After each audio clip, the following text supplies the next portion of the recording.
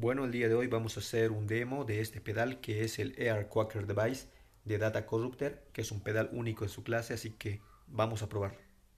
El Data Corrupter se divide en cuatro partes, el Master Oscillator, Frequency Modulator, Subharmonic y Voice Mixer, además de que funciona con diferentes instrumentos como guitarra, bajo y voz. Tiene un aplastante sonido de fuzz, además de que es un sintetizador, un octavador, imita sonidos robóticos y láseres.